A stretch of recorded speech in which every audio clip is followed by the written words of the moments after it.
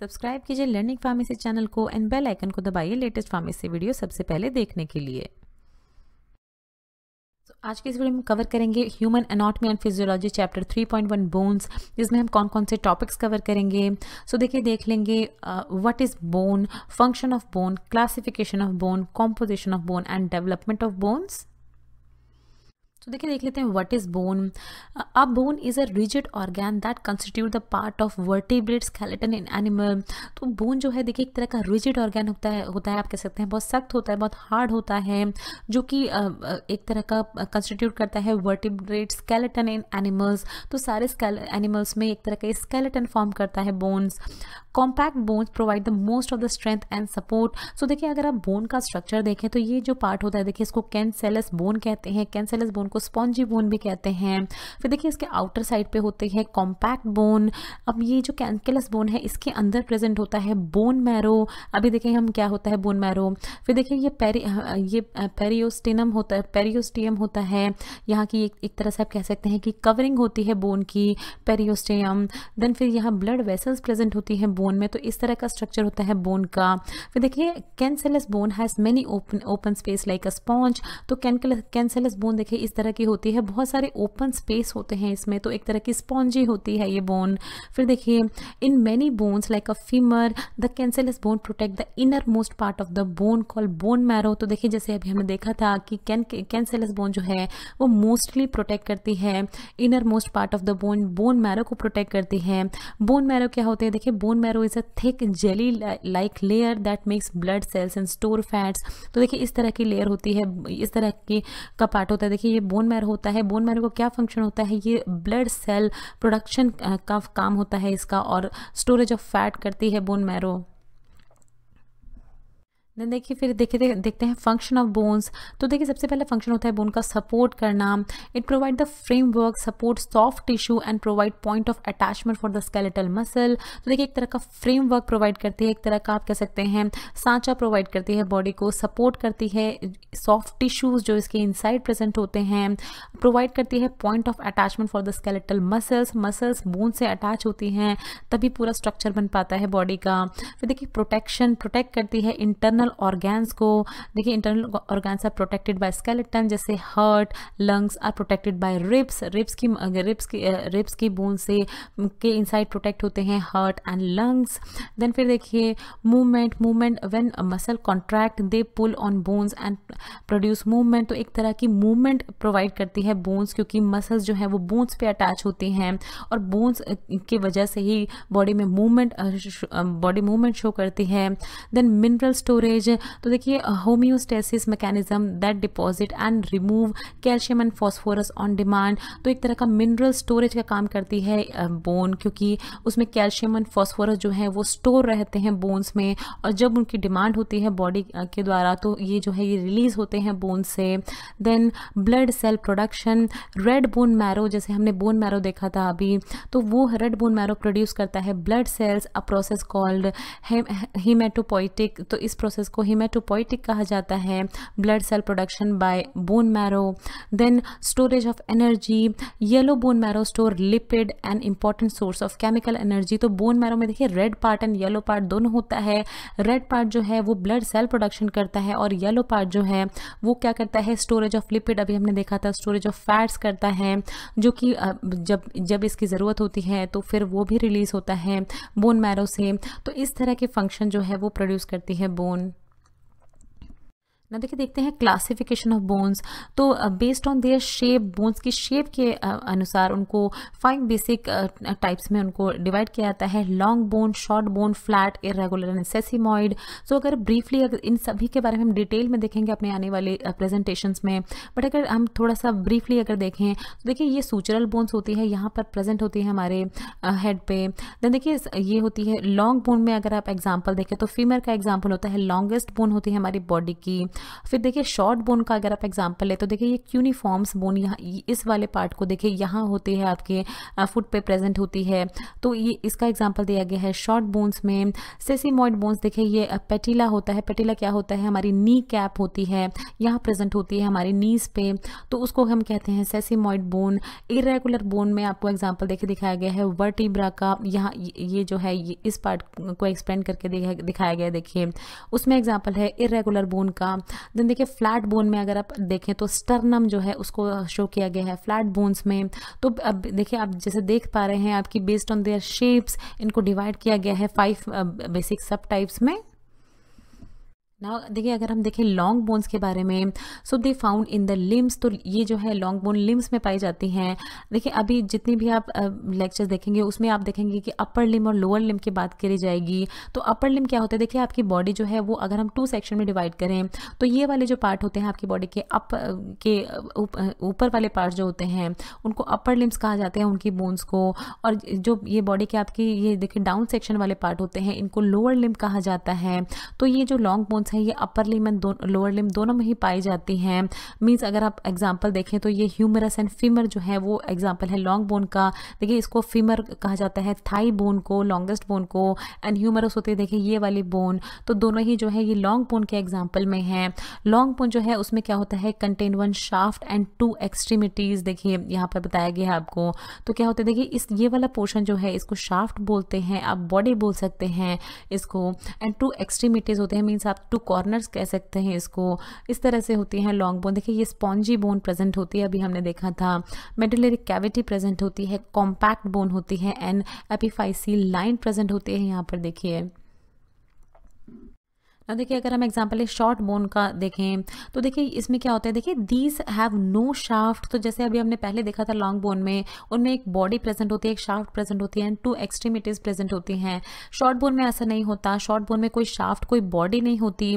But क्या होता है? देखिए इसमें स्पॉन्जी सब्सटेंस जो है वो इनसाइड किसके इनसाइड प्रोटेक्टेड होता है? एक तरह के कॉम्पैक्ट बोन के इनसाइड वो स्पॉन्जी मटेरियल जो है वो कवर्ड होता है। सो so, इस तरह से आप देखेंगे शॉर्ट बोन देखिए यहाँ पर अगर हम एग्ज़ाम्पल देखें तो व्रिस्ट एंड एंकल की देख सकते हैं व्रिस्ट में जैसे कॉर्पस मसल होती है कार्पस मसल होती है एंकल में टर्सस मसल होती है पेटिला जो कि नी कैप होती है, वो भी एक तरह की शॉर्ट बोन का एग्ज़ाम्पल है।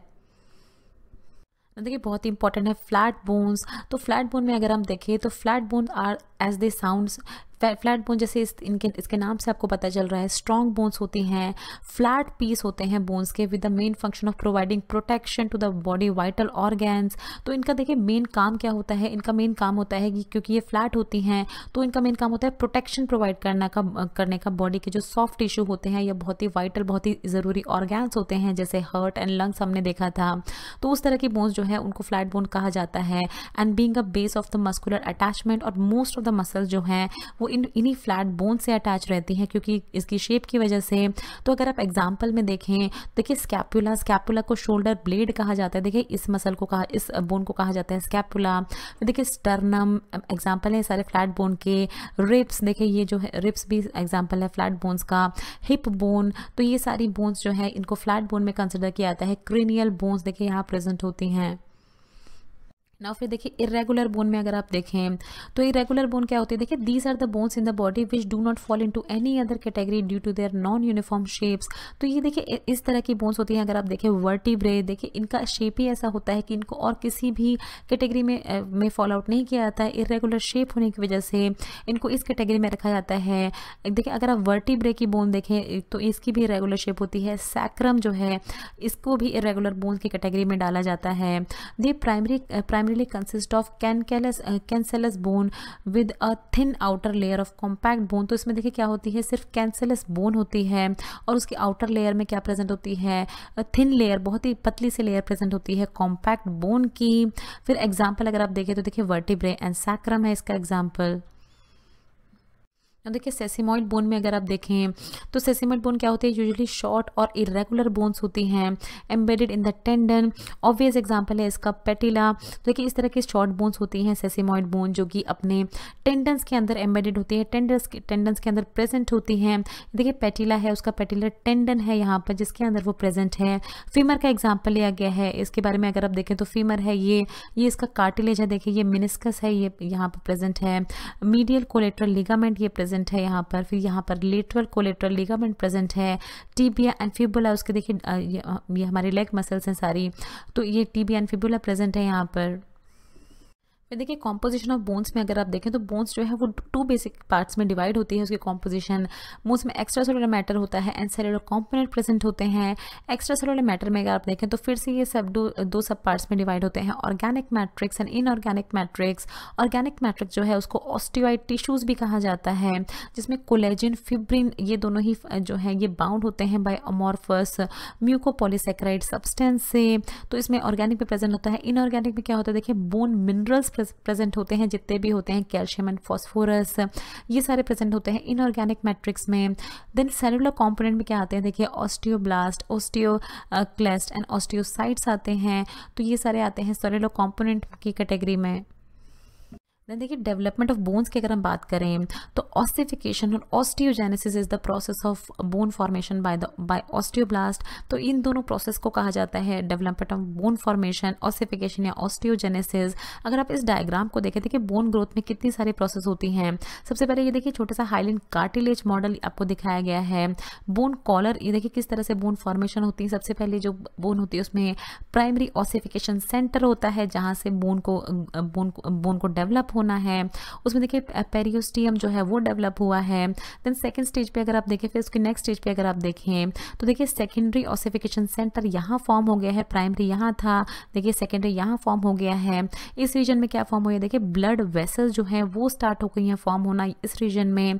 फिर नेक्स्ट स्टेज पे अगर आप जाएँ तो देखिए मेड्यूलरी कैविटी फॉर्म हो गई है यहाँ पर बोन में। और फिर देखिए लास्ट सेक्शन में अगर आप जाएँ, जब बोन पूरी तरह से ग्रो हो चुकी है तो देखिए, यहाँ articular cartilage cartilage present form हो गया है स्पॉन्जी बोन बन गई है कॉम्पैक्ट बोन फॉर्म हो गई है एपिफाइसिल प्लेट बन गई है एंड पेरियोस्टियम जो है वो डेवलप हो गया है। तो इस तरह से बोन ग्रोथ होती है।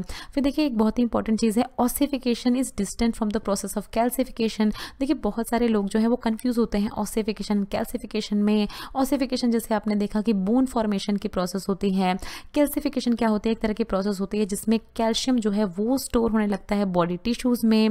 तो जब बोन फॉर्मेशन होती है तो कैल्शियम स्टोर होने लगता है बॉडी टिश्यू में, बट ये कैल्शियम स्टोरेज जो है, ये बॉडी के अदर टिश्यूज़ में भी हो सकती है। तो यही बताया गया, देखिए, calcification takes place during ossification उसके दौरान ऑसिफिकेशन ऑफ़ बोन्स के दौरान कैल्शियम जो है, वो स्टोर होने लगता है टिश्यू में, but it can also occur in other tissue calcification process जो है, वो दूसरे टिश्यूज़ में भी हो सकती है, दूसरे टिश्यूज़ में भी कैल्शियम स्टोर हो सकता है, बट ऑसिफिकेशन जो है, वो डिफरेंट है कैल्सिफिकेशन से।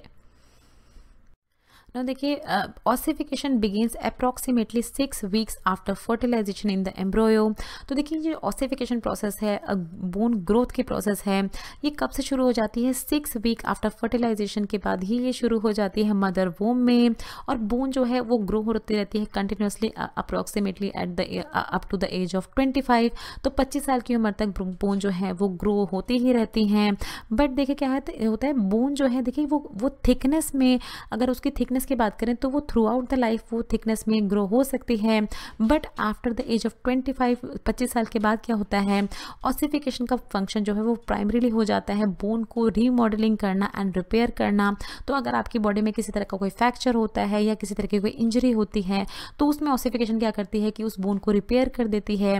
बट अब पच्चीस साल के बाद उसका ये फ़ंक्शन होता है। पच्चीस साल तक क्या होती है? होता है बोन जो है वो अपनी लेंथ में एंड थिकनेस में बढ़ती रहती है। फिर देखिए, इस स्लाइड में आपको बहुत ही इंपॉर्टेंट बताया गया है किस तरह से बोन की ग्रोथ होती है।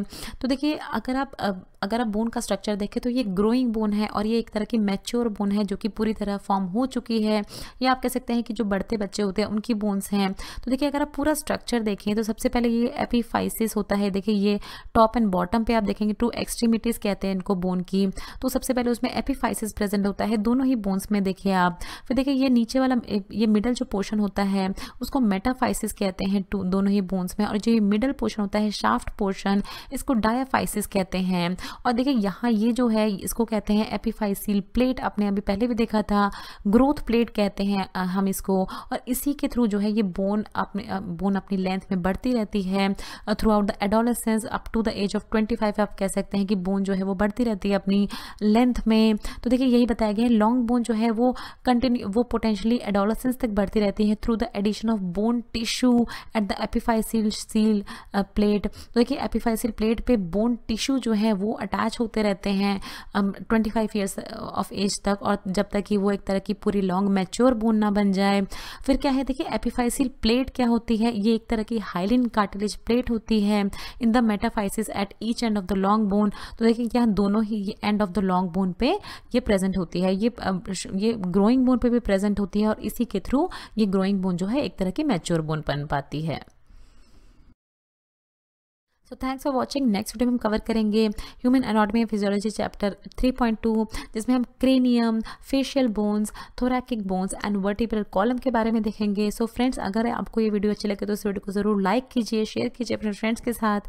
अगर आप चैनल पर पहली हैं तो प्लीज़ चैनल को सब्सक्राइब कीजिए। वीडियो के नीचे रेड कलर सब्सक्राइब बटन दिया होगा, उस पर क्लिक करके आप चैनल को सब्सक्राइब कर सकते हैं। अगर आपका कोई भी सवाल है तो नीचे दिए हुए कमेंट बॉक्स में आप हमसे कुछ भी पूछ सकते हैं। ये कुछ हमारे रिलेटेड वीडियोस के लिंक हैं, जिन पे क्लिक करके आप उनको देख सकते हैं। दोस्तों लर्निंग फार्मेसी पे आने के लिए और ये वीडियो देखने के लिए आपका बहुत बहुत शुक्रिया। मिलते हैं अगले वीडियो में।